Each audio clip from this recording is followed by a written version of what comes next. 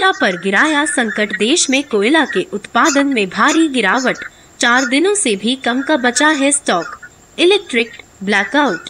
मांग के अनुरूप कोयले का उत्पादन नहीं हुआ है। कोयले की आपूर्ति नहीं हो रही है। बरसात के दिनों से कोयले का उत्पादन नहीं हो रहा है। बिजली उत्पादन केंद्र में कोयला स्टॉक कुछ दिनों का बचा है। अगर जल्द कोयला नहीं मिली तो ठप हो सकता है। बिजली उत्पादन देश को 16 लाख टन कोयले की ज़रूरत पर उत्पादन मात्र 15 लाख टन। पूरे देश में दिख रहा है कोयल संकट। कोयला देने के लिए कोयला नहीं है, कोयला खरीदने के लिए पैसा नहीं है। सरकार का नज़रिया शक के दायरे में, कोल क्षेत्र भी निजीकरण के राडार पर। जानबूझकर किया जा रहा ऐसा। बरसात पहले भी हुए है पसंकट आज हो रहा है।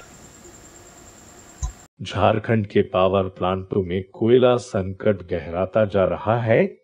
कोयला स्टॉक का लेवल कम हो गया है, जिससे पावर प्लांट से उत्पादन ठप होने की आशंका है।